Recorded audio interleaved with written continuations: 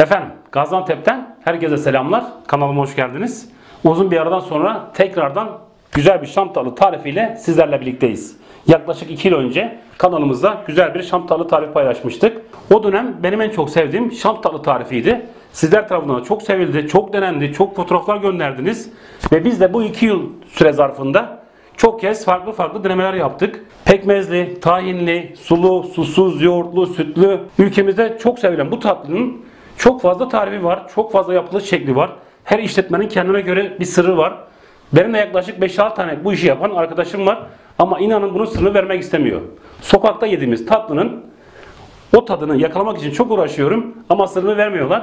Biz de ne yapıyoruz? 2 yıl boyunca hem evde hem iş yerinde bu tatlıyı sürekli deneyerek geliştirmeye çalışıyoruz. İnşallah bu tarifle şam tatlının tarifine yaklaşacağız.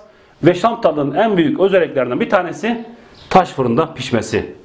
Taş fırınımız yok. Ev fırında yapacağız ama o lezzeti yakalayacağız inşallah. Buyurun tarifimize geçelim. Şam tatlı tarifi için kullanacağımız malzemeler 7 su bardağı irmik kullanacağız. Eğer bulabiliyorsanız 5'ler marka 3 numara irmik bulursanız çok harika olur. 10 gram karbonat kullanacağız. Ortalama 2 tatlı kaşığına denk geliyor. 5 gramlık paketlerden 2 tane kullanacağız. 2,5 su bardağı şekerimiz var. Bunların hepsini tartacağız birazdan. O şekilde de göstereceğim. Hemen hemen 3 su bardağına yakın su kullanacağız. Belki hepsini kullanmayabiliriz. Birazcık kalabilir. Onun da sonucunu birazdan göreceğiz. Ve dışarıda satılan birçok şam tatlının en büyük püf noktasından bir tanesi de birçok işletme amonyum bikarbonat kullanıyor. Yani amonyak kullanıyorlar. Ve tabii biz bunları çok evimizde tercih etmiyoruz. O yüzden karbonatla yapacağız. Bunu da söylemek istedim. Daha önce bir tarifimizde kullanmıştık. Halka tatlı tarifimizde. Yani yakışıyor mu? Yakışıyor. Gerçekten e, güzel bir lezzet veriyor. Güzel bir kıvam veriyor. Ama çok fazla tercih etmiyoruz. O yüzden bunu kullanmayacağız. Karbonat kullanacağız. Tepsilere gelirsek ben bu tepside yapacağım. Tepsilerimizin ebatı 40'a 30 geliyor. Bu büyük tepsimiz. Biz bunu yapacağız. Bunu söylemek istiyorum. Bu da 35 çarpı 25.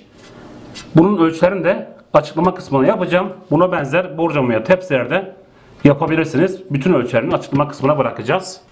Bunu da yapabilirsiniz. Buyurun tarifimize başlayalım. Öncelikle malzemelerimizi hem gram olarak hem de ölçü olarak belirleyeceğiz. Ona göre tarifimize başlayacağız. İlmimizi ölçeceğiz. Yani bunları yapmama sebebim sırf sizler daha detaylı görün diye. Yoksa bunların hepsinin ölçüsünü, gramını biliyorum. Bakalım bir su bardağı irmik kaç gram gelecek? Normalde 170-180 gram arası geliyor. Evet tam doldurmadık. 160 gram civarı geldi. Toplamda 7 su bardağı irmik kullanacağız.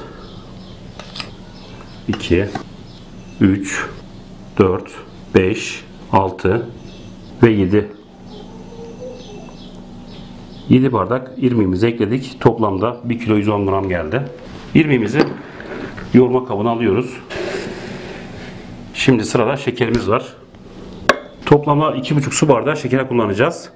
Yine şeker de 180-190 gram civarı geliyor.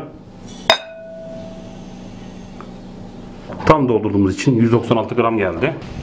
2 ve 2,5 su bardağı şekerimizi ölçtük. 470 gram da şeker kullanıyoruz. Bunu da yoğurma kabımıza ekliyoruz. Sırada karbonatımız var. 2 tatlı kaşığı karbonat ekliyoruz. Öncelikle kuru malzemeleri güzel bir şekilde karıştıracağız. Bütün kuru malzemeleri karıştırdık. Suyu da ölçeceğiz. 1 su bardağı su da yaklaşık 180-190 mililitre geliyor. Bunu da ölçelim. 193 geldi. 2 şöyle çok az bir şey bırakacağız. Yani bu suyun hepsi fazla oluyor.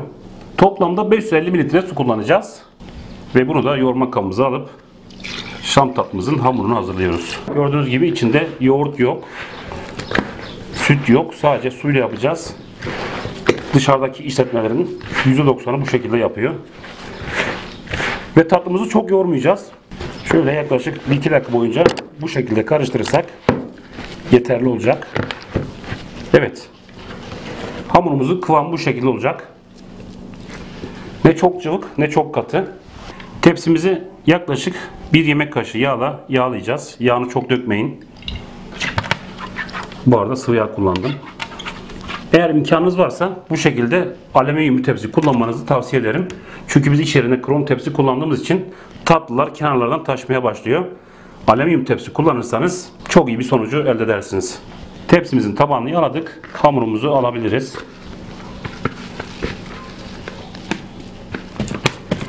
Tatlımızı her yere eşit şekilde yayacağız. Tatlımızın her yerini elimizle güzel bir şekilde düzelttik. Bu şekilde tezgaha vurup hamurun her yere eşit şekilde dağılmasını sağlayacağız. Şu an işin en zor kısmına geldik. Tatlımızı 12 saat boyunca oda sıcaklığında serin bir yerde muhafaza edeceğiz. Muhakkak bunu yapmalısınız. 12 saat sonra gelip tatlımızı pişireceğiz ve şerbetini koyacağız. Görüşmek üzere. Tatlımızı 12 saat boyunca dinlendirdik. Şerbetini hazırlayalım. Tatlımızın şerbeti için 6,5 su bardağı şeker kullanacağız. Toplamda 1 kilo 150 gram geliyor. 1 dilim limon, 6 su bardağı su kullanacağız. Ocağımızın altını yaktık. Tenceremizi ocağın üzerine aldık. 6 su bardağı su ölçeceğiz. 1, 2, 3, 4, 5, 6. Şekerimizi de ekliyoruz. Şeker ve suyu karıştıralım. Kaynamaya başlar başlamaz 10 dakika boyunca orta ateşte şerbetimizi kaynatacağız. Tatlımızın üzerine birazcık şerbet ve tahin süreceğiz. Toplamda 4 yemek kaşığı şerbetimiz var. Ve biraz da tahin ekleyeceğiz. Şöyle 1 2 3 yemek kaşığı da tahin ekledim. Hazırladığımız tahin ve şerbet karışımını tatlımızın üzerine güzel bir şekilde yedireceğiz. Şöyle tatlının da kıvamını göstermek istiyorum. İrmikler bayağı bir şişti. Bayağı bir katı kıvamda.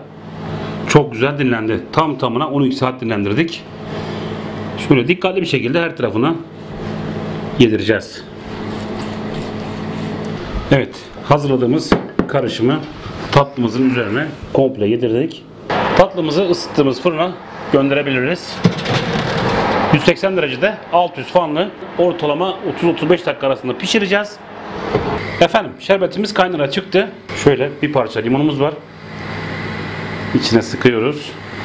Ve komple içine atıyorum. Ocağımızın altını orta ateş yapıyoruz. Orta ateşte 10 dakika boyunca şerbetimizi kaynatacağız. Şerbetimiz 10 dakika boyunca kaynadı. Altını kapatıyoruz. Şu an kıvamı çok güzel. Şerbetimizi soğumaya bırakıyoruz. Tatlımızı yarım saat boyunca pişirdik. Şu an kesilecek kıvamda. Eşit bir şekilde dilimleyeceğiz. Çok fazla pişirirsek kolay kolay dilimleyemiyoruz. O yüzden fazla pişirmeden dilimleyeceğiz.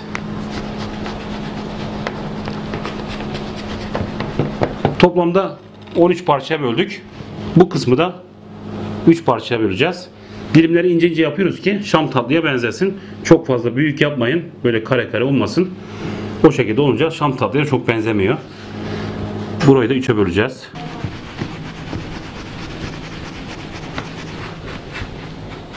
Tatlımızın üzerine bu şekilde bir tane tepsi kapatıyoruz. Fırına göndereceğim. Tatlımızı üzeri kapalı bir şekilde fırına gönderdik. 20 dakika boyunca pişireceğiz. Fırınımızı kapattık. Tatlımızı kontrol edeceğiz. 20 dakika boyunca üzeri kapalı bir şekilde pişirdik. Evet, gayet güzel kızarmış. Tatlımızı 5 dakika boyunca soğuttuk. Şerbetimiz de oda sıcaklığına geldi.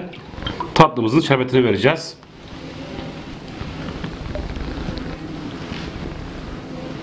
Şerbetini verdikçe rengi daha koyulaşacak. Üzerine tahin ve şerbet sosu yapmıştık. Güzel bir şekilde sürmüştük. Bunu yapma sebebimiz üst kısmı biraz sert, içi de daha yumuşak olsun diye yapmıştık. Şerbetin hepsini tatlımıza verdik. Yarına kadar dinlendireceğiz.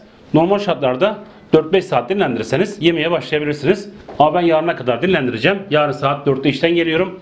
O saatte oruç olduğum için tadına bakamayacağım. Tadına bakıp nasıl olduğunu söylemem için iftardan sonra geleceğiz. Tadına bakacağız. Efendim tekrardan geldik. Yani şimdi diyeceksiniz ki bir şam tatlı için yaklaşık bir buçuk gün boyunca uğraştın. Ama değer. İnşallah güzel bir sonucu yakaladık. Tatlımızın fıstıklarını koyacağız. Yer fıstığı kullanıyorum. Fıstıkları en son aşamada koyuyoruz bu şekilde. İlk başta koyduğumuzda fıstıklar da yanıp tatlının rengini alıyor. Şu an tatlımızın rengi bayağı bir güzel duruyor. Başlarda dediğim gibi taş fırında pişirmiş olsaydık daha da güzel olacaktı. Tatlımızı tabağa alacağız. Şöyle 3 tane dilim çıkartalım. Şerbetini gayet güzel çekti. Tatlımızın bir diğer özelliği de 2 gün, 3 gün, 4 gün boyunca bozulmadan daha lezzetli bir şekilde kalabiliyor. Evet.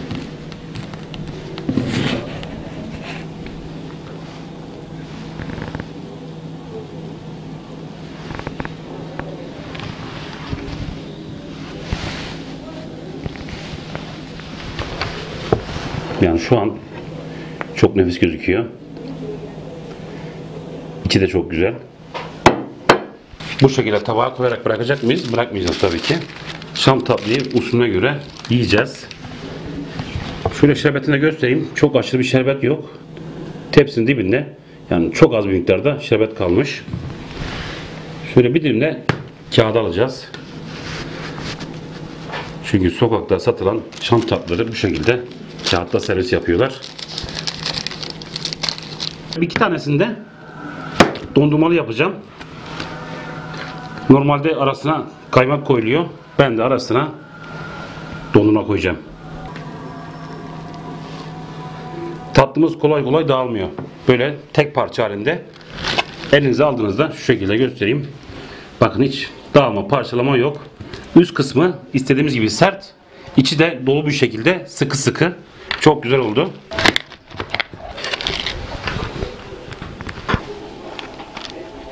Evet, bir tane de Maraş dondurmalı yaptım. Çok fazla eritmeden hemen tadına bakalım. Evet, beklenen ana geldik. Efendim, müsaadenizle tadına bakacağım.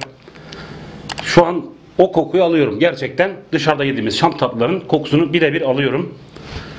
Müsaadenizle. Bismillah.